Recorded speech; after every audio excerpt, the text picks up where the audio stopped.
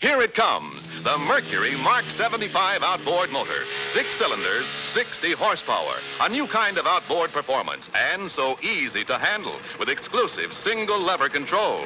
And is it rugged? Watch as this Mercury approaches a sandbar.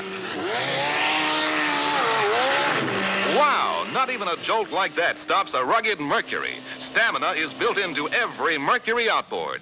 For you fishermen, here's the Mercury Mark 10 with special trolling lever. You can run it all day at super slow speeds. The exclusive new automatic transmission gives you one-hand control of forward, neutral, and reverse. Your other hand is free for fishing.